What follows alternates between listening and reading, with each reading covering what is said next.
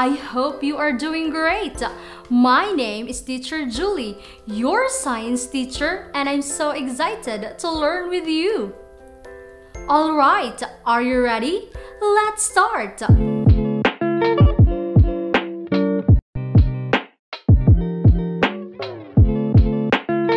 Look at the jumbled letters flashed on your TV screen.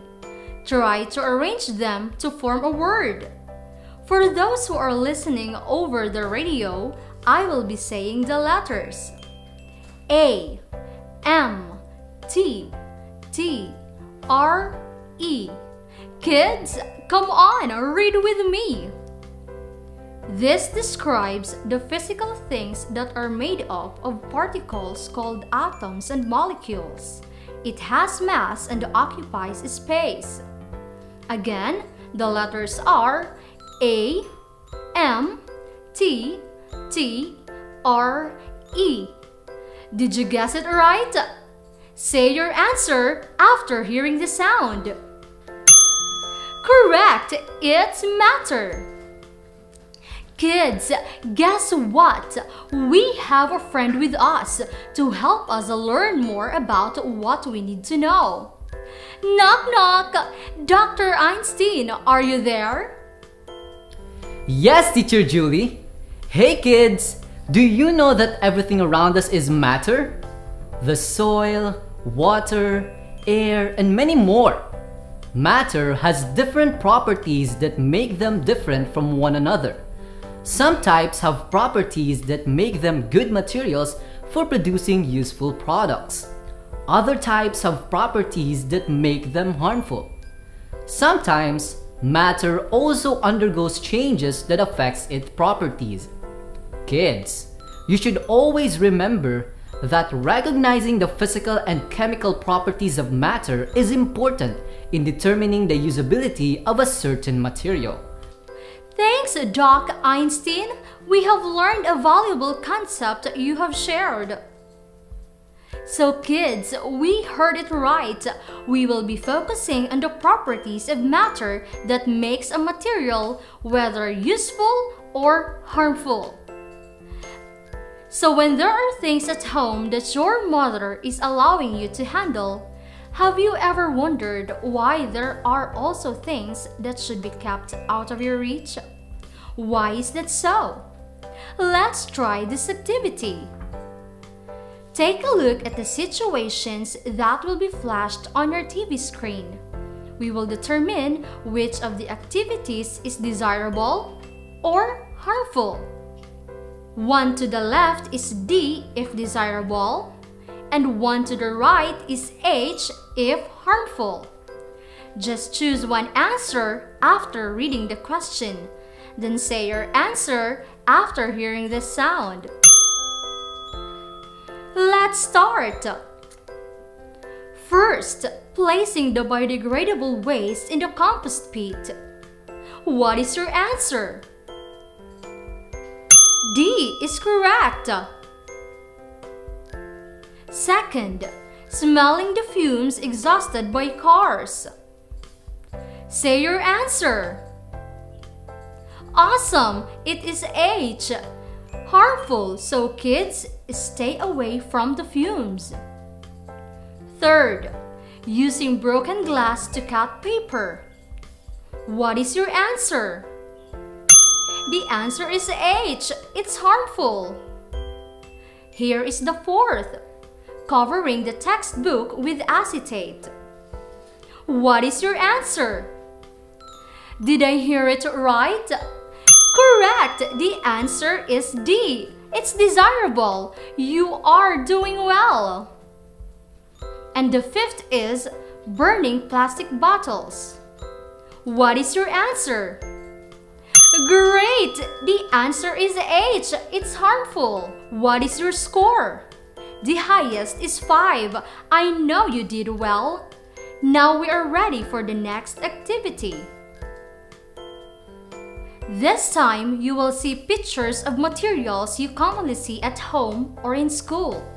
Let's check if you know its usefulness or harmfulness. Just choose the letter of your answer from the option that will be given. First picture is paint. A. Protects the wall and roof. B. Makes the plants colorful. What is your answer? You got it right, letter A. Second picture is detergent. A. Polishes dirty shoes. Letter B. Cleans dirty clothes. What is your answer? Correct! It's letter B. Third picture is an insecticide. A. Kills insects and pests. Letter B. Sprays fruits and vegetables. What is your answer? Letter A is correct. Good job, kids! Let's try the fourth. A liter of cooking oil. A. Used as a fuel for motorcycle. Letter B. Used in frying food. What is your answer? You got it right. It's letter B. How about the fifth picture? A bottle of spoiled milk. Letter A. Causes poisoning. Letter B. Eases hunger. Did you get it right? Letter A is the answer. What is your score? 4 to 5 means you were able to grasp the concept. 3 and below, keep going, you're almost there. Kids, it is good to know that you already have idea which materials are useful and harmful.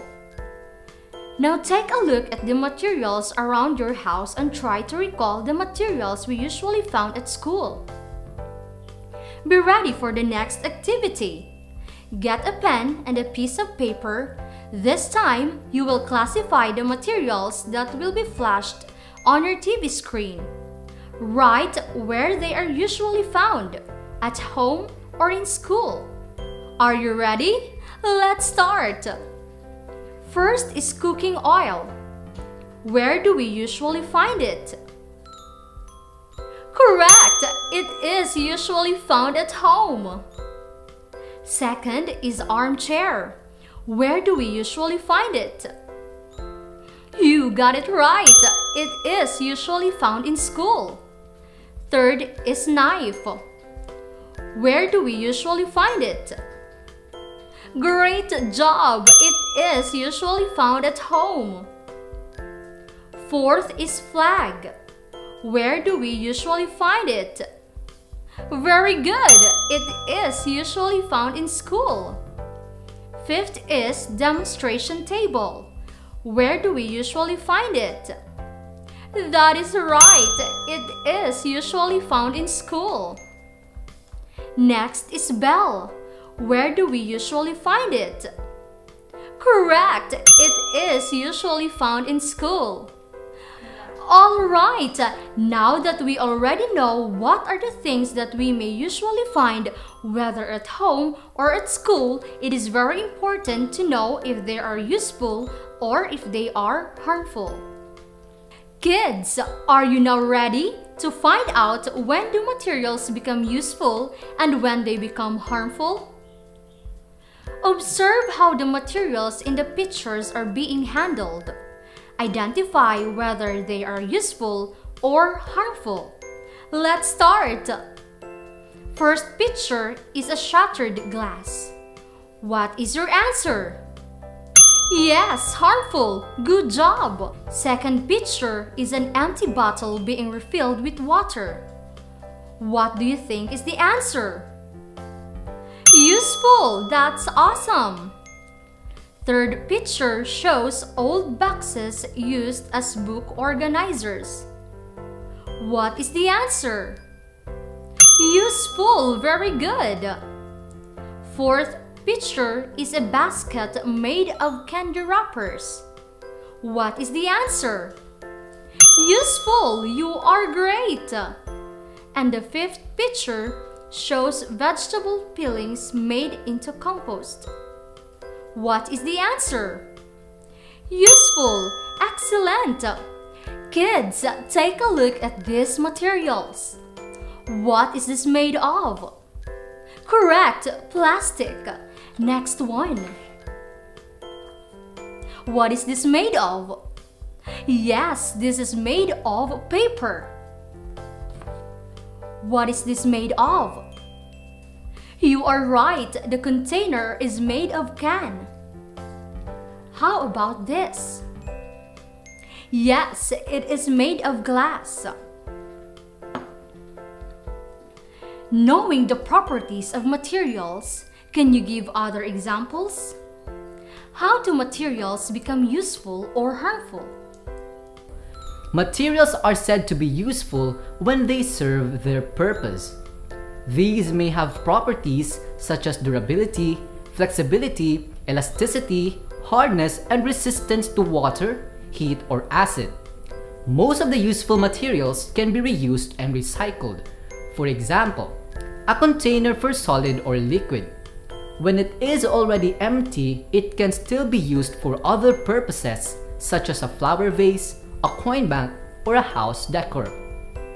Whether a bottle is made of plastic or glass, it has a property that makes it reusable.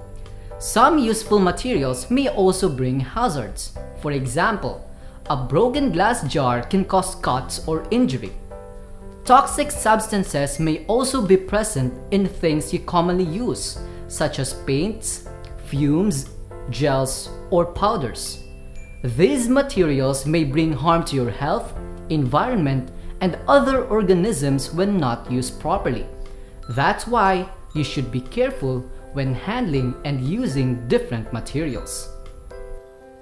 Now, let's try another activity. This will help you fully understand which materials are useful and which are harmful. Identify the following materials as useful or harmful. In your notebook, draw a happy face for useful and a sad face for harmful. Let's start. First, candy wrappers made into bag. Second, a broken glass thrown in the backyard. Third, disinfectant bottles thrown everywhere. Fourth, a box that was made into a bookshelf. Fifth, leftover food from restaurants turned into fertilizers. Kids, you're doing a great job. Let's keep going. Here is the sixth. Used syringe and needle placed beside children's toys. Seventh, a broken container turned into a decorative plant holder. 8. Used car tires turned into park benches. Ninth, old colorful magazines made into paper baskets. 10. empty bottles of paint thrown into the garbage bin for burning. What is your score? Did you do well in this activity? I hope you did. Now let's check what you have learned. Complete this paragraph using the words in the box. Harmful, hazardous, purpose, reused, useful, painful. Many materials and substances are useful at home and in school, but they can be harmful if not used properly. Materials are considered useful when they serve their purpose. Some useful materials can be reused.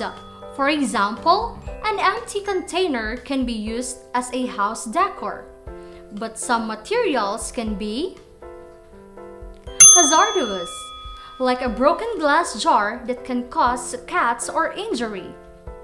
Very good, kids! You have learned to recognize useful and harmful materials.